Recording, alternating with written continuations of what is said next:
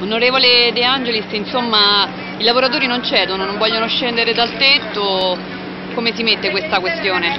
C'è la disperazione, una disperazione che mi sento di poter condividere, rischiano di perdere il lavoro, bisogna trovare una soluzione, lunedì deve, si deve convocare questo tavolo e si deve trovare una soluzione e il sindaco accetti la proposta della Regione Lazio che Però, tutela il lavoro. Ecco, loro si sentono ricattati perché sostanzialmente dicono ma dobbiamo scendere per partecipare al tavolo e poi se non c'è loro, l'accordo... loro, loro non vogliono restare sul tetto perché non hanno nessuna voglia di stare sul tetto, però loro vogliono la soluzione, questo è il punto, si trovi una soluzione, giustamente loro dicono l'incontro è l'incontro, però come finisce l'incontro?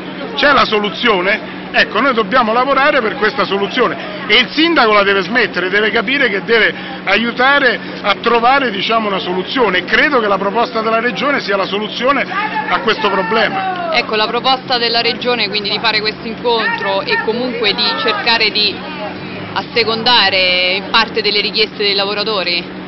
Ma la Regione è per trovare una soluzione, per Eh. difendere i lavoratori, Questa- questo è l'impegno della Regione Lazio e quindi noi lavoreremo in questa direzione, altrettanto deve fare, deve fare il Comune di Frosinone, non può chiamarsi fuori il Sindaco. Ecco, e secondo lei perché succede questo braccio di ferro attualmente tra le parti? Ma io ho riflettuto molto in questi giorni, non riesco a capire la posizione del Sindaco, non riesco a capire perché questo ostracismo, oltretutto mi pare di poter dire che anche dal punto di vista economico se lui non trova una soluzione il Comune ci rimette, quindi anche dal punto di vista delle casse del Comune lui ci guadagna a trovare una soluzione, così come ci guadagnano i lavoratori, quindi è pretestuoso, è un dispetto, non lo capisco.